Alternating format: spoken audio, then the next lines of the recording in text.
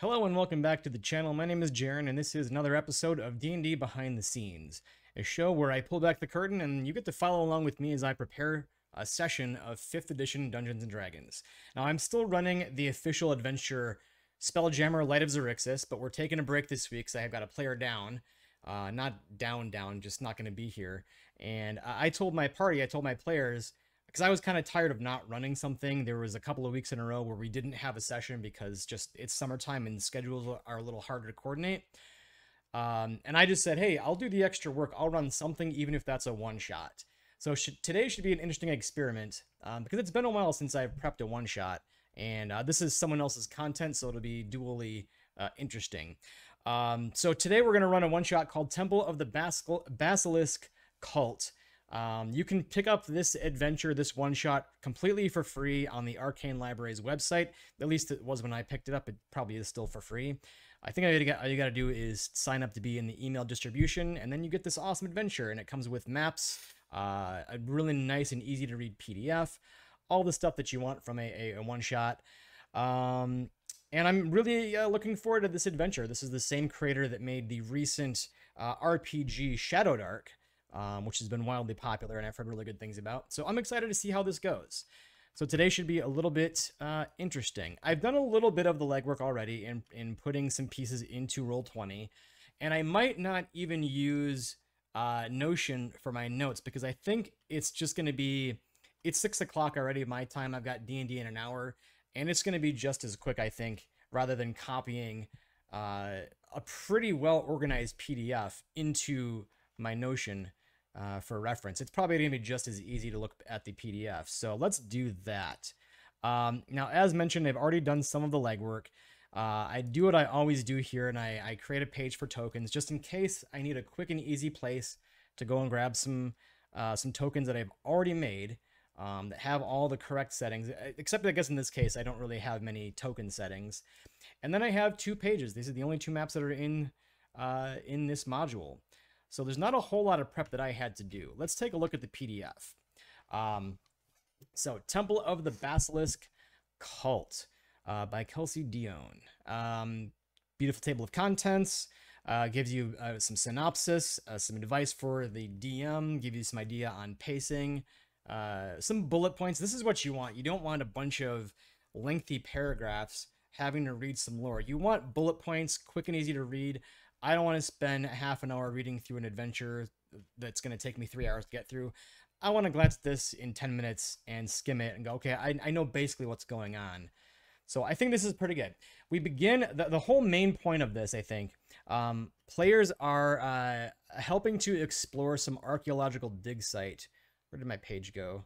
I've got way too many pages open here. Nope, that's the, that's the image. Um, they are exploring this archaeological dig site called Mivin's Rest. And there are a couple of NPCs already here that can uh, assist them in this journey. Um, this is all surrounding this weird basilisk cult. They're going to find the dig site that's been sort of already uh, dug up a little bit. Um, and pretty soon, like right as soon as we kind of find out where the players are within this dig site, we jump straight into the action with combat as these uh, stone uh, stone warriors, thematic to basilisks, uh, pop out of the uh, the forest and start attacking the party. Some of them start throwing uh, flames, trying to burn the campsite down. Uh, ultimately, what they're trying to do is these stone warriors are trying to do is collect this jade basilisk egg that has been dug up from this sarcophagus here. They want to take it back to their temple and complete this ritual. So we jump right into combat. Players are getting attacked. It's dangerous. Um, we find out that, uh, you know, hey, hey, there's something. It's not just let's go to this cult, uh, you know, ceremonial uh, site, ceremony site. uh, we have some things to fight, and we have to go uh, like collect this egg before they complete their their thing. Um, we then and, and as you can see in the PDF, um, it's got a lot of like really good descriptions, um, some really easy to read bullet points. Um, what I now realize I'm appreciating now that I'm going through the prep here is the color coding is fantastic. Um, I know that uh, bold is sort of something I need to pay attention to, and red is something that could like definitely come into play. Potion of healing. Um, I, other places there are um, actual, you know, the, the the monsters I need to pay attention to are are put into red. So I know I need to have basilisk hatchlings uh, tokens ready. Um, one thing I forgot to do, I need to make some guard tokens. But I really appreciate this. It's really easy to read at a glance. I don't have to go digging through piece by piece. I can look at it pretty quickly. And that's why I don't think that it's going to be uh, very time efficient to try and put this info into my own Notion bullet points. Um, the only reason I would do that is if I was going to run this adventure again at some point in the near future, and I didn't want to have to dig through this PDF. I could just already have these notes ready to go. But I think this is just as easy anyways. Um, so I need to get a couple guard tokens onto the map. Uh, now, what you get when you download this, let me see if I can pull this up here. Go to Basilisk Cult. Um, you get, uh, well, you get a lot of really great stuff. Some things that I'm not even going to be using. Uh, if you don't want to go searching through these, um, through the PDF. The, the, there's even these really nice, uh, where is it getting pulled up now? Uh, these nice and quick and easy to read combat cards. Uh, if you don't want to go back to the PDF, you can just, if you're going to run this in person, this is what I would do for sure. Uh, print these out, cut them up. These are the printer friendly ones. Um, there are probably some color friendly. Uh, yeah. Let's take a look at these. Uh, yeah. Also uh, included in this download. Um, these really nice combat cards. There are also uh, PC combat cards. Um, so if you wanted to give these out to your players, that would be kind of nice. Um, make it a little easier to, to, keep track of their stats if you had some brand uh, had some newer players. Um, what else do we have? We also have these really awesome maps. We have both uh, labeled maps and these uh, maps that are more for like your players to look at. Uh, what I've uploaded here into Roll20 is the, the player version, I guess you could call it. And then, um, do I have this open? I might already have this open. Yeah, if we were to look here, here is the labeled map. And I've taken, because you obviously don't want your players to see these numbers. And S is where all these monsters uh, begin. They kind of emerge from the forest, the jungle. Uh, so you want the, the one that doesn't have all this info on it. And then I took all this and as you can see here, I've put all this information, including where these stone warriors begin, and I plopped it onto the GM layer. And that is both, uh, well, it's mostly, it's entirely for my own reference. Um, so that if I, because, you know, this is a new adventure to me, and I'm, I'm less familiar than if I had been looking at this for multiple weeks.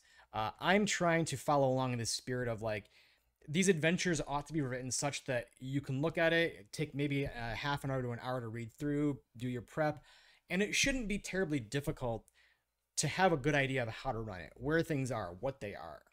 And so I don't want to have to memorize all the stuff. If if if it comes to it, I want to be able to look at this and go, okay, area one, what was in area one again? Oh yeah, uh, we can just quickly go back to the PDF, just get a real quick reminder. Yep, it's just some tents.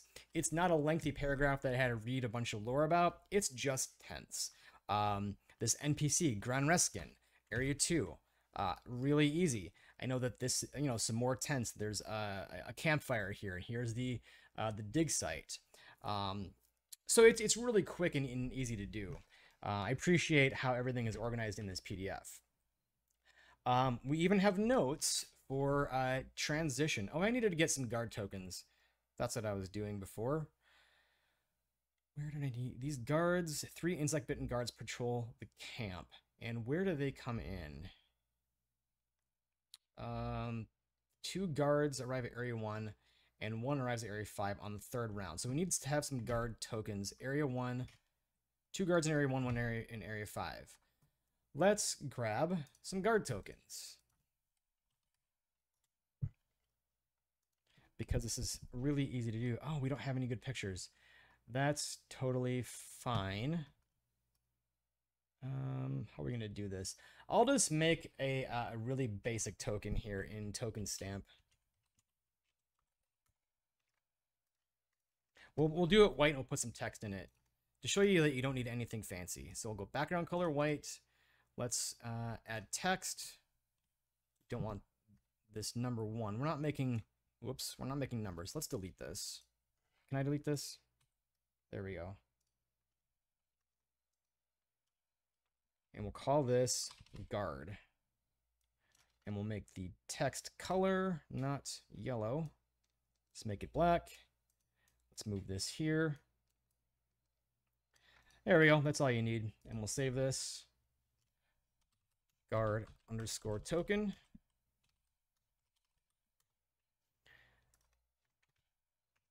And then we just drag it into Roll20 and call it a day.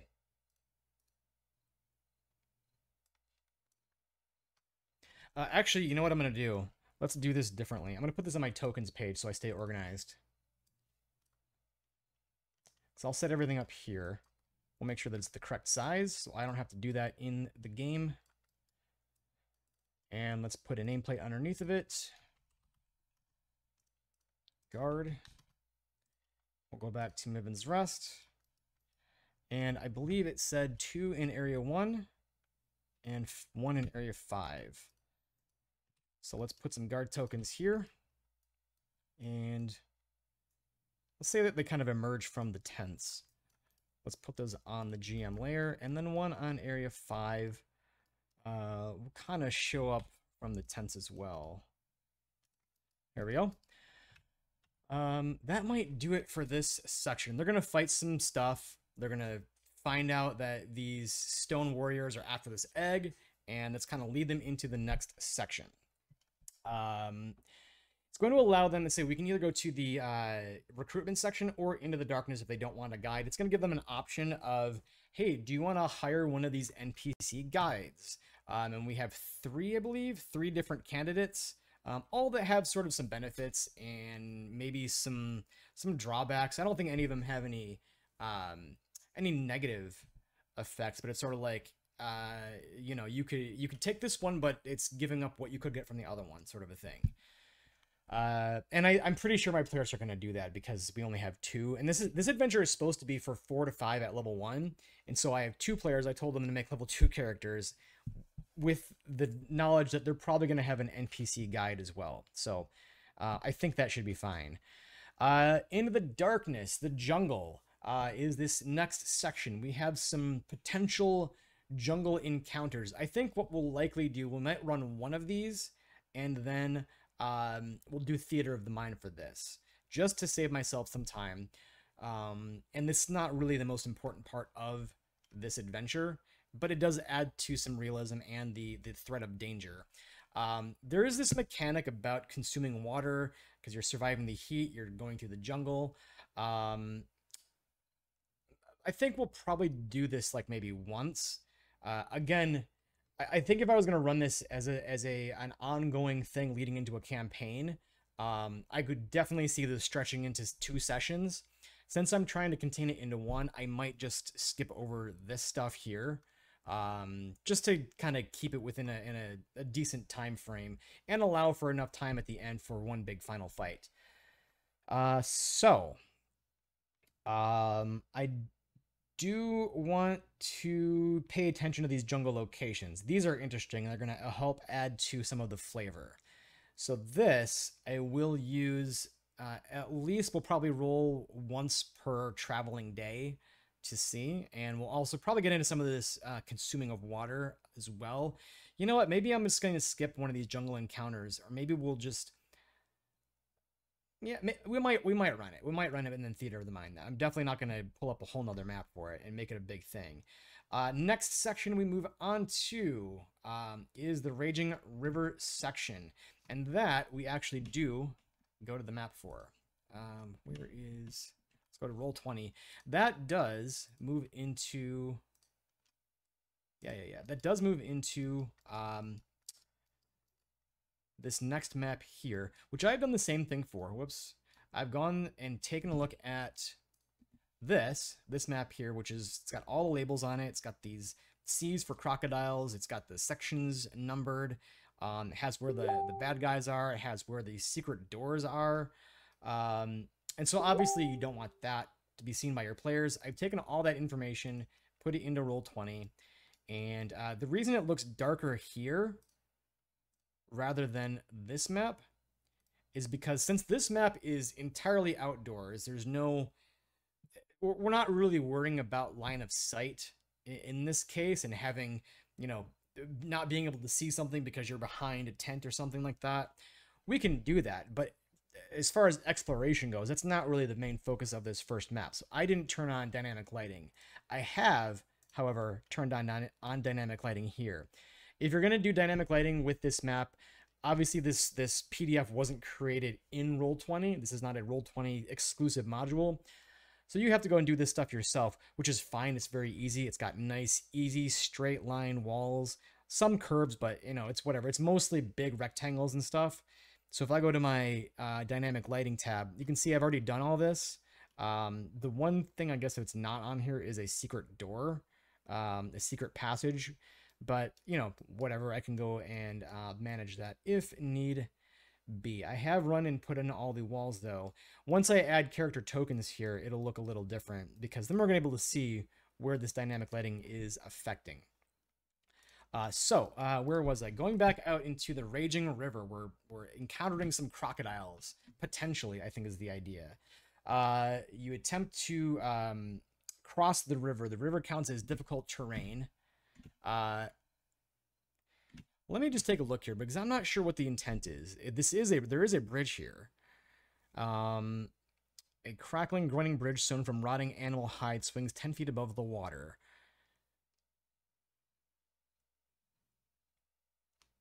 I think the intent here, yeah, yeah, yeah, it's further into this bullet points. I think I would have would have started with this bullet point feature here.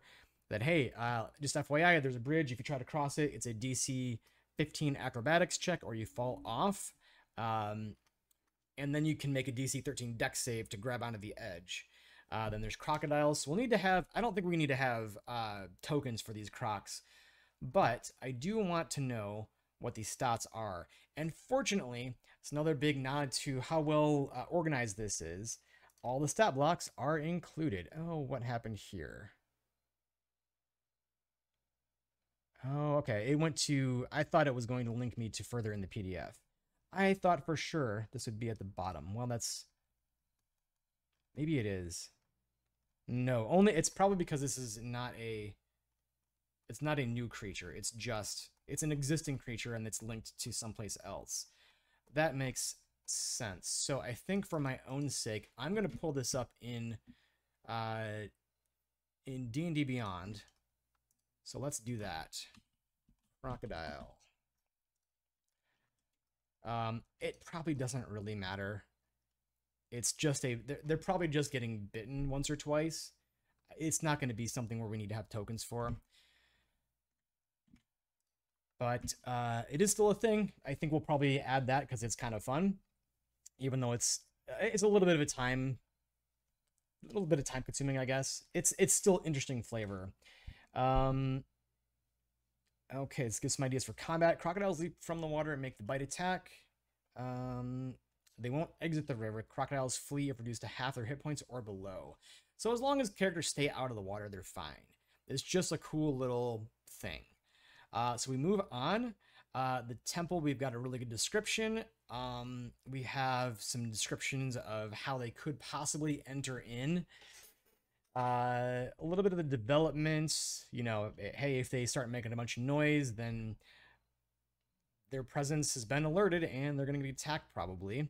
Um, if they do start checking around, there are rations and barrels of fresh water. Uh, you know, if if I need to, I could also say that there's you know a potion of healing or something like that. I think they could find these in um. It might be in this storeroom here. Let me take a look. Yeah, that's in area one, the storehouse, um, which is this tower up here. There's nothing threatening in this storehouse. It's just supplies. Uh, area two, the statue room. It's this first room they enter in. It's it's the the easiest and most obvious place to go to. Uh, there's no uh, you know sort of check to get inside there. It's just a room full of stone warriors that are in the process of performing some ritual. Um, and they are ready uh, ready to fight as soon as they notice the characters. So they survive this. Uh, Stone Warriors fight to the death. Um, they there's small treasures. They notice some other things. We move on to area three. I'm gonna pull up. I'm a little bit disorganized at the moment. Where is my other?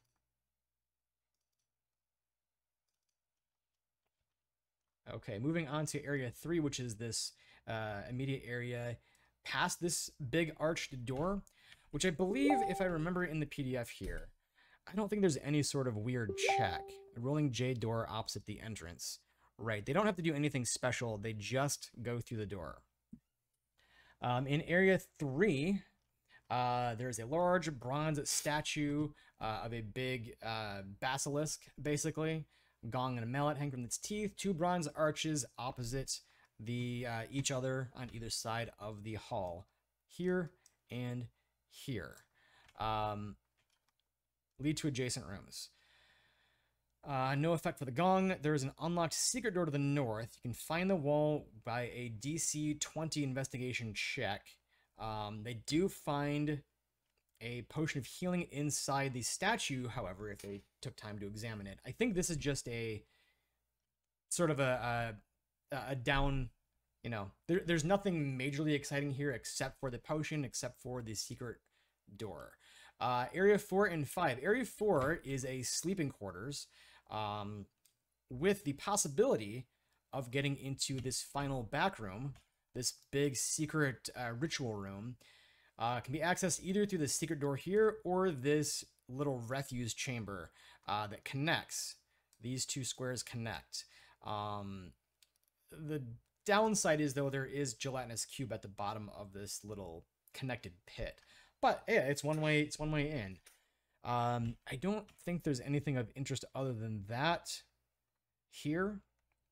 Let's take a look. Uh, not particularly. The gelatinous cube contains a corrosion-resistant diary worth 20 gold pieces to a scholar or collector with the following legible entries. So they could find a bit of information. Um, Area 5, however, is a trap room. It is the burial chamber. Let's take a look at this vicious room. If I can find where my tabs are. There's a problem when you're running D&D online on multiple monitors is you end up having like 18 tabs open. Uh, this ritual room is very cool. Is uh, essentially, um, it's got a bronze, I'm going to put this on the other page so we can see it. And I'm still going to read it. Um, a bronze arch, an open bronze arch leads into this room. A sealed sarcophagus rests at the back, uh, which is this here. A murky pool with a basilisk face sits in front of it. Debris, river reeds, and silt cover the floor. Um, so we have a couple of things to interact with. We've got all this weird debris. We've got a pool with a um, a basilisk face in front of it, and then we've got the sarcophagus. Um, if they, well, they notice that in this arched doorway are tracks that kind of line the interior of this arch that look like it could fit a door. It looks like a doorway could fit here. Um, they find human bones sort of scattered in the debris.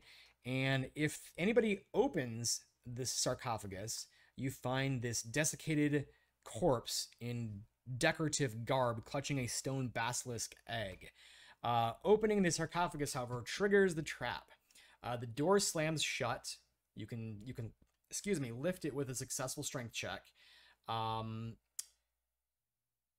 but then the room starts filling with water via this pool, and four skeletons among the debris come to life and attack the party.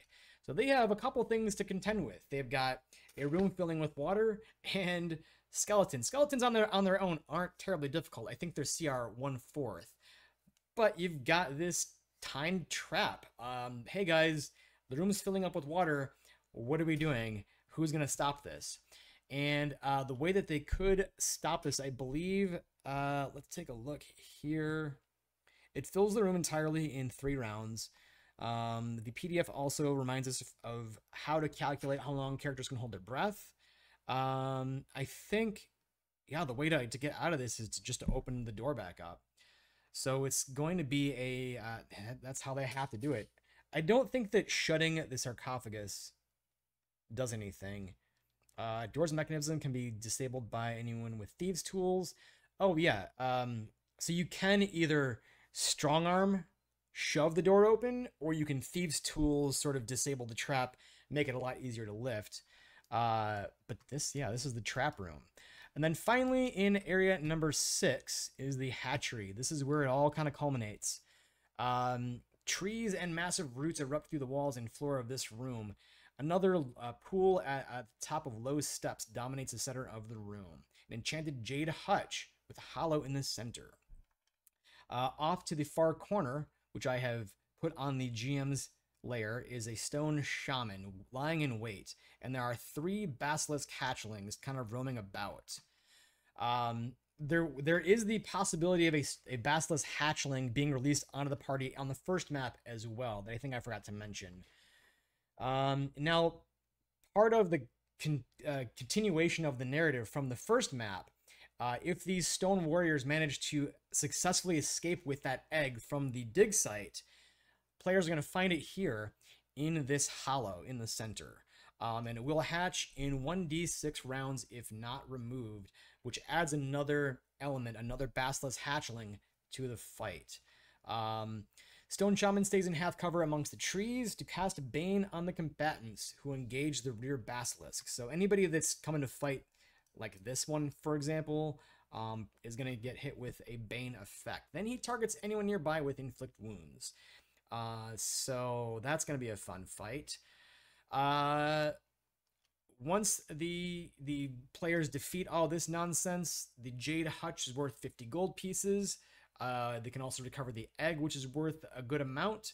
The Stone Shaman has a tiny brass vial in a pouch that is an ever smoking bottle. Um, I need to pull that up because I don't entirely remember what that is. Uh, let's open a new tab. That's what you do when you run D&D, is you have 17 tabs open at once. Ever smoking bottle. I honestly have never seen this in, in 5th edition. It's probably exactly what it says. Yeah, yeah, yeah. Cool, cool item.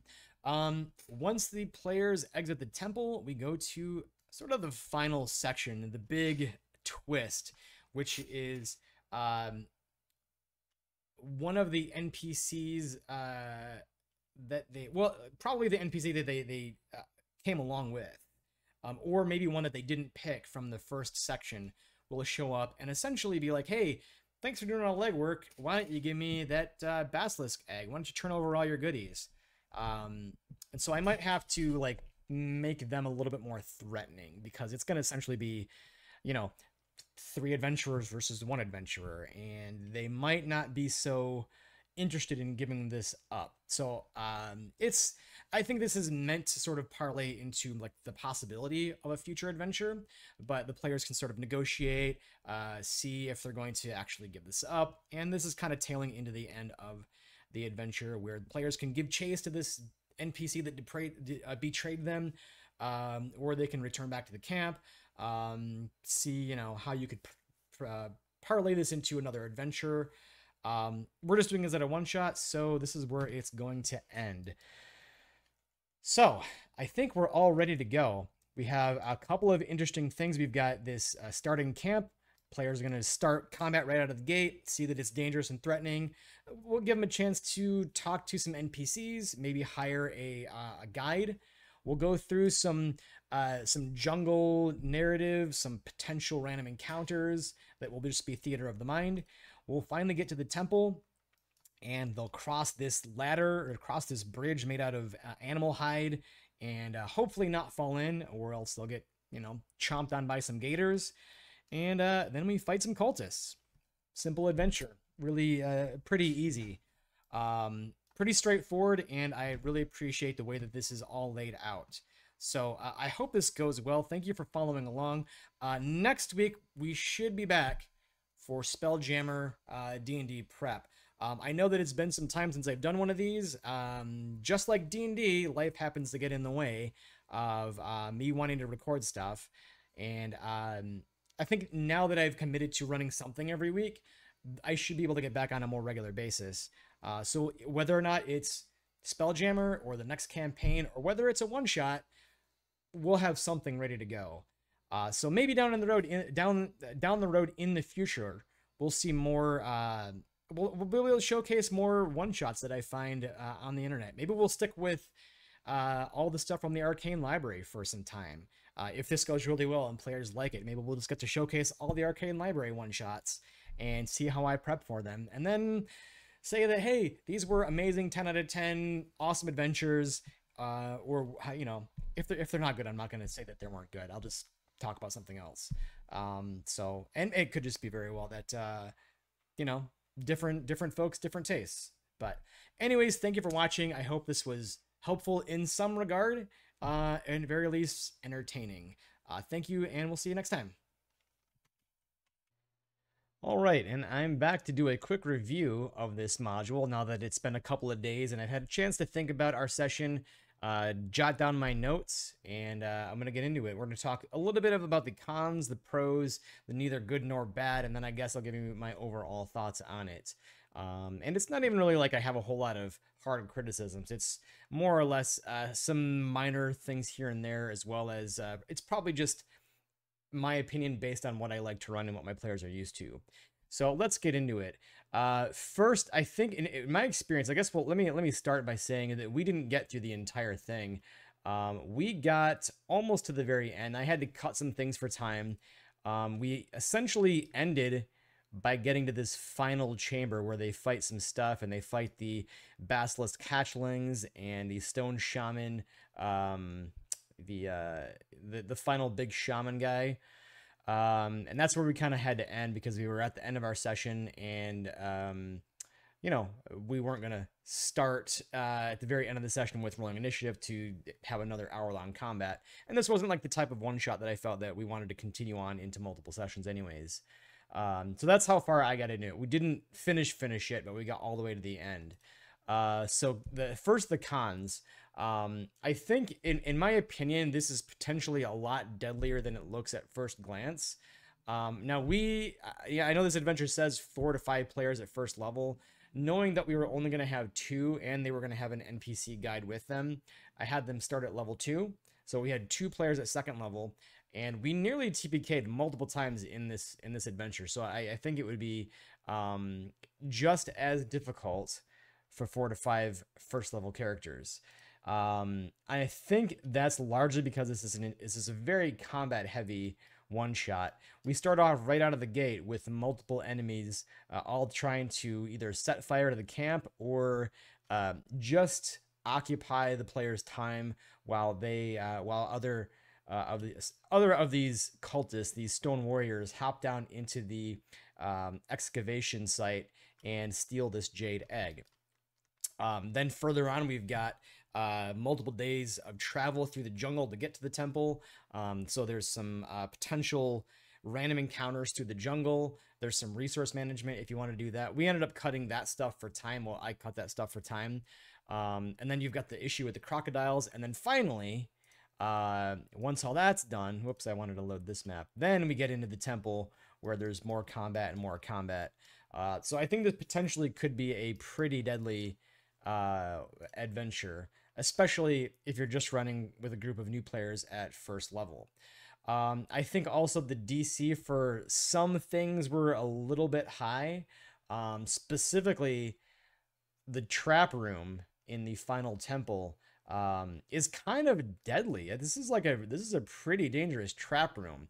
There's not a whole lot to interact with when you go into it. You see this pool with a little basilisk head sticking up out of it, and you've got some debris poking around the room and uh, it's pretty clear that there's supposed to be some sort of door in this little open archway. There's a slot for a door, and you can even you know ask for passive perceptions and say somebody notices that if you really want to make it obvious. And there's this closed sarcophagus that looks exactly like the one that they dug up at Miven's Rest. So there's really not a whole lot for them to interact with. They're gonna poke the red button. They're gonna un you know they're gonna take the lid off the sarcophagus, trigger the trap, and then you're to fight some skeletons, and the room's to start filling up with water. The only way out of this trap, however, is to, as far as I could tell based on the adventure, is either if you have thieves' tools to make it a little easier, uh, or just something with a high enough strength. Um, requires a DC 18 strength check to disable. Uh, otherwise, you're just stuck in this room that's filling up with water, and eventually you're you're dead. Uh, that's that, that one seemed kind of high. There might have been a few other ones. Um, so I, I, think I might have adjusted that a little bit. Um, or given some other way to disable this trap. Maybe, um, you know, there's some hidden lever at the bottom of the pool or something like that. Uh, I don't know.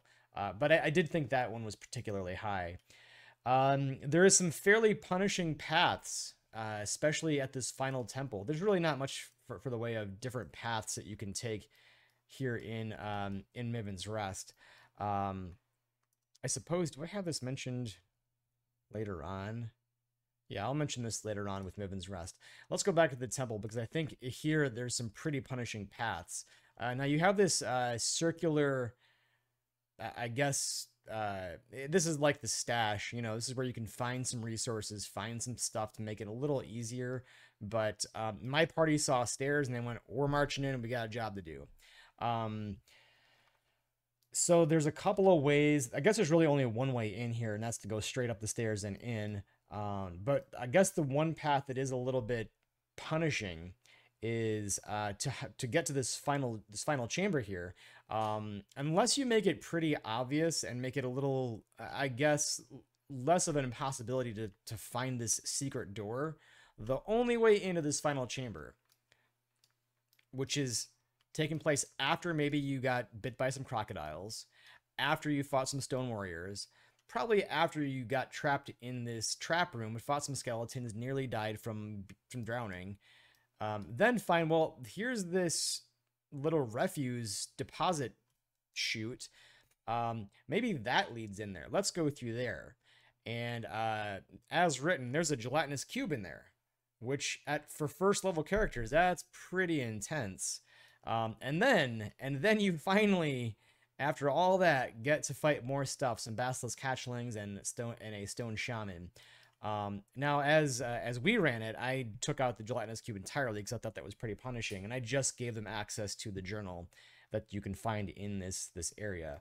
Um, and then I made it a little bit obvious. I kind of used the NPC that they were traveling with, um, Gran Reskin, uh, she was kind of instructing the characters to go search for other secret passages or doors or traps or something like that.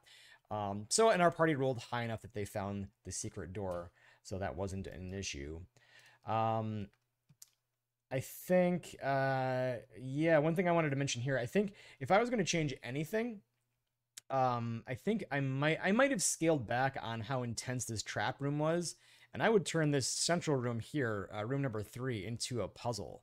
You know, involve this basilisk statue with the eggs, because um, the eggs seem to be an important theme here in this adventure. Make it a puzzle. Um, maybe you have to find enough eggs and put them in the right, you know, the right claw or something. I, I don't know. Um, but something that allows the players to do some exploration, use some deductive reasoning, interact with this room, and then that opens up this secret door rather than it just be a simple check. I think that's what I would do and make this, um, you know, a little less just uh, combat uh, heavy.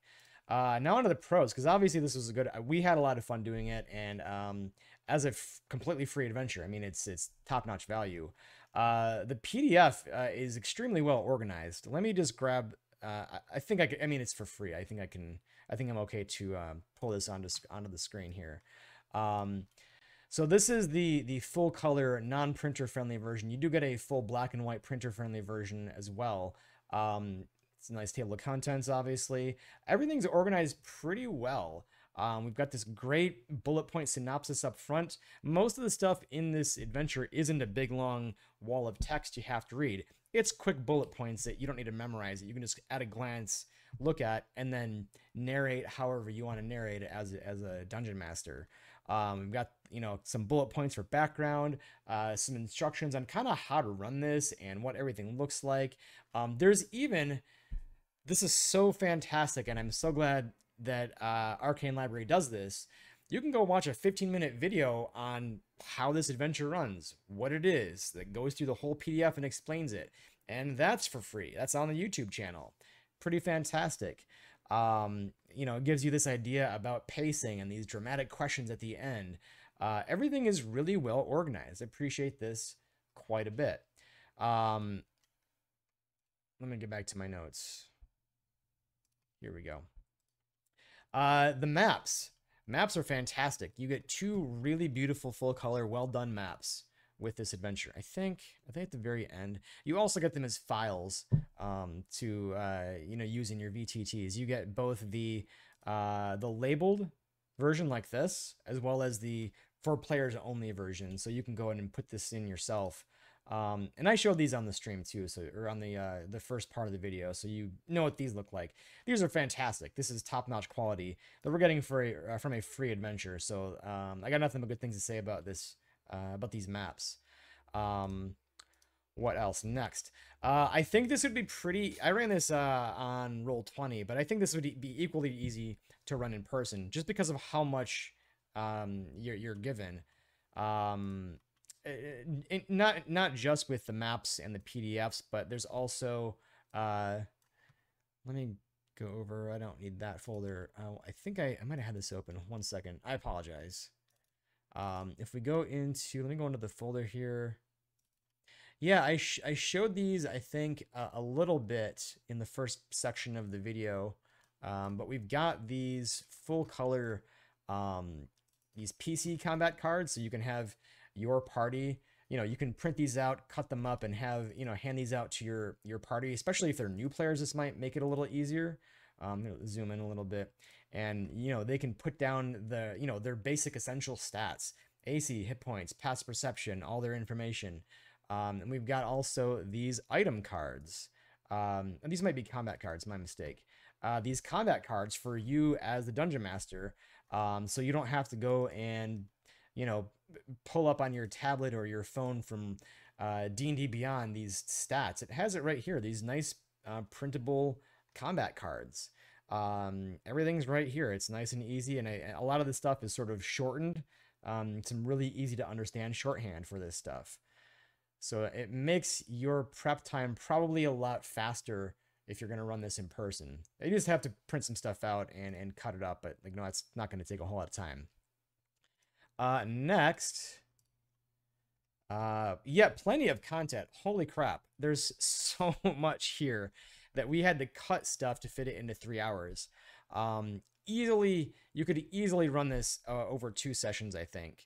Um, we didn't really cut out important things, but I guess where we did shorten it a little bit, um, because I, I, you know, I have players that are accustomed to more RP heavy D and D, and so I still wanted to have a little bit of that and allow for some moments of it's a one shot, but they, I think I still have players that like to have some character information. So I allowed for that. So we naturally had to cut back on some things. What we did cut back on, um, where is my PDF? Is uh, mostly, not the aftermath. Where is it? Is uh, these random encounters. Um, the way that I ran it is uh, I assumed it was going to take like two to three days. And I had players roll a d8 to see what jungle locations they ran into. Um, they were they're trying to track down and and follow this trail based on scent. They saw these stone shaman or these stone warriors steal the jade egg and dart off into the into the jungle, and so they were trying to track them based on the scent.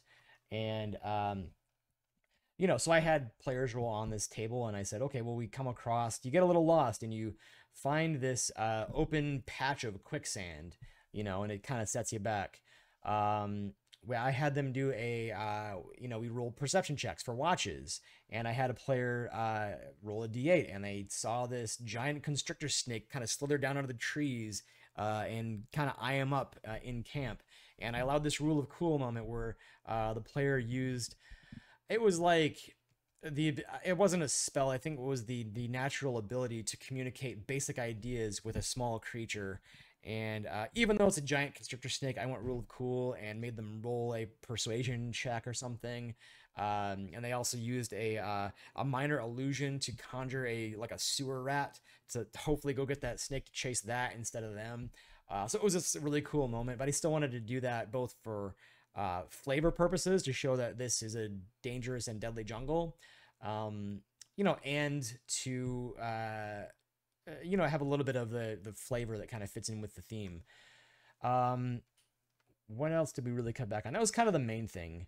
Um, and also the gelatinous cube uh, was was cut out because I thought that was a little bit a little bit punishing. Um, also, maybe we're moving on to the next section of my notes. That's not what I wanted to pull up. Apologies. Where this is what happens when you run D and D. You have way too many windows open. Uh, so yeah, plenty, plenty of content. Uh, again, as a free adventure, you know, uh, the value is is most certainly there, and I think this would be really easy to parlay it into a larger campaign. Um, now, naturally, this is a jungle setting, and so it's not going to fit into every single campaign. Uh, you couldn't really start Rime of the Frostmaiden with this adventure, for example, since that one is set entirely in the tundra. Um, but this does fit really easily into a lot of uh, different settings. It's pretty uh, it's pretty uh, campaign agnostic, I'll say, except for obviously, like I said, specific setting campaigns. Um, now on to the last section. This is just how it is. It's neither good nor bad. This is going to be mostly just personal preference, uh, with a couple of uh, my own notes at the end. Um, I think, well, this is a pretty combat heavy adventure. Uh, as as I pointed out, we start off with a lot of combat with uh, i think it's like eight ten different things popping in and fighting the characters then we roll up we move on to uh, the jungle multiple day overland travel where you could have more random encounters um, then you fight you know you potentially have to mingle with some crocodiles if you don't make it over this bridge okay um, then there's these you know and i cut some of the stone warriors i think there's supposed to be like six in here but uh, being that we had two players and I didn't want them to get completely overwhelmed and turn around, um, you know, I cut the number down to four. Uh, and there's skeletons and traps and gelatinous cube, and there's more combat in the final room. And it just felt, for us, for my party and myself, that we're used to like a, a lot of RP and exploration, and then one big combat per session, to have a bunch of little combats, and it's like every every 20 minutes or so, where we're like rolling you know, initiative, even if it's not a big combat, even if it is just theater of the mind or something small, you do kind of need to keep track of who's going in what order. It, it I wouldn't say that it was it was too much. It just was a little bit not what we are accustomed to. Um, in the first combat, this was uh, maybe something that needs to be tweaked or at least be aware of. Um, there's I know that there are guards, and I did have guards exit the tents as they were getting set on fire and try to help out in combat. Um, the one thing that sort of doesn't make sense to me is like I don't the, the, we don't really have stat blocks. I don't think for these NPC guides that are are uh, p- a potential option. Let me just pull up the PDF one more time, so I, in case that I'm completely wrong on this. Um, I guess we do kind of have stat blocks in the way of, you know, I can click on this and it takes me to scout or spy or thug, for instance. Um, but there's, and I certainly, I guess I could have uh, included them in the combat myself. Um, there's, there's, if I'm just brand new DM looking at this PDF, however, there's nothing that tells me, oh yeah, they come out and fight on round two or whatever. Um, so it, it, was knowing that, knowing that I didn't do that, knowing that it was uh, supposed to happen after the fact, I felt in the moment it would have been really weird for these uh, potential guides that are, you know, well traveled, they know how to survive in the jungle. Uh, after all the tents are burned down and the, then the campsite got got uh, attacked, for them to pop out and be like, "Hey, we're ready to help now," and the party's like, "Hey, where were you when shit was going down?" You know, so I, I, thought that would have been weird. So that's why I had uh, Gran Reskin follow them and accompany them into uh, into the temple. Let's see. Lastly, and this is a bit of a um, a weird narrative thing here. Um, you do have the option. The players could prevent these stone warriors that come out uh, into Area Five and try to steal the Jade Egg. It could be that characters stop that from happening and then they don't see the jade egg in the final temple stage and uh, if they have the egg it is sort of narratively weird because you might have characters that uh, aren't exactly motivated by anything beyond getting riches and all that. Um, I know this is a one shot, so we can still have this idea that you know the players know that this is the thing that we're doing, so we come up with reasons for why the characters are going to do that. But um, it, it does kind of take a little bit of character incentive out of it if you've kind of already solved one small problem here, um, and especially if if Gren Reskin isn't very privy to uh, what's gonna happen at the temple, what what ultimately they're trying to do. If it's still just conjecture and theory and ghost story, um, then Gren herself may not be uh, enough of a motivation for the characters. So um, what I ended up doing, and I know I'm getting a little wordy on that, but I think I'm I'm getting the point across, is I had these warriors hold back. They didn't make themselves known. They were kind of waiting in the the outskirts of the jungle until the characters were sufficiently occupied or uh, tied up or or at low enough of, uh, of hit points in the combat um, to then pop out. Two of them stood at the edge to watch guard, while the third hopped down and grabbed the egg and uh, so characters did have one round where they could follow them if they wanted to, but they weren't close enough at that point. And I really wanted to have that narrative without completely railroading it. I wanted characters to have an opportunity to notice that they were there and see that they're about to get away and then make a decision as to how they're going to do it. Um, but I did ultimately want to have the uh, the warriors succeed in stealing the egg because that gives a, a wider base of players, a wider base of characters incentive to go after it, whether it's appeal to adventure or appeal to, uh, you know, treasure and loot, um, or this bigger scheme of like, you know, hey, there's a cult that stole an egg and uh, they're probably going to do some bad stuff with it. They dug up a, a, pretty regal and royal looking body and stole an egg. Uh, this is probably important. We should probably stop whatever they're doing. Um, so I that's that's the way that I ran that is I kind of narratively forced that a little bit um, so that I could avoid it being really weird. Like, well, what happens if they stop it and now the players have the egg and they think that's the big final reward and you know then I have to kind of like retcon a bunch of stuff that Gren Ruskin definitely does know instead. So um, that was that was a little bit of a weird moment um, that I I guess it, it could have been a weird moment. Um, overall, however, very very good good adventure. You get tons of stuff uh, for once again completely for free. And if you go to the Arcane Library, a lot of these adventures, which I'm sure are of equal if not better quality than this free adventure, um, are they're like a couple dollars. You know, it's it's incredibly good value. So I, I can't speak highly enough about it. And I will definitely be checking out some of the other adventures. This one is for first level. Um, there are ones I think ranging all the way up to 20th level. Uh, so there's a whole wide range of, uh, of, of adventures, no matter what you're looking for, and I think they all have videos too, which is pretty awesome.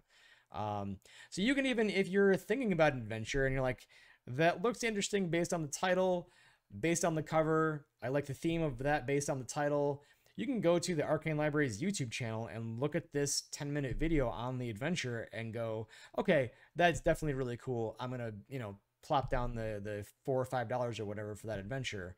Um, so you get a little bit of a, a trial from the creator herself before you, you before you buy a little bit of a cool preview. Um, so yeah, lots of content, beautiful maps, uh, plenty of stuff to do. Man, there is plenty of, you you won't lack for things to do in your session if you're running this as a single session one shot. I can guarantee that for sure. Um, unless you're running a six hour one shot in that case I, i'm not confident that this could fill up six hours but i don't think most of us are doing that uh, especially if you're running online. Um, anyways uh, i gotta say very good adventure solid 8 out of 10 for me. Um, the only thing that could have made it better those minor tweaks and just personal preferences being a very combat heavy adventure. So all that said thank you for watching the entire thing including the prep and this little review. Um, we'll see you in the next video